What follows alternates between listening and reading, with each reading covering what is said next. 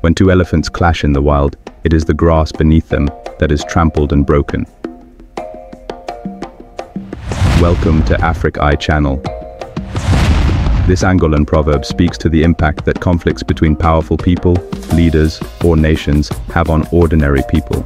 Just as the heavy, powerful elephants might not notice the grass crushed underfoot, those in power sometimes overlook the suffering their conflicts cause among everyday people.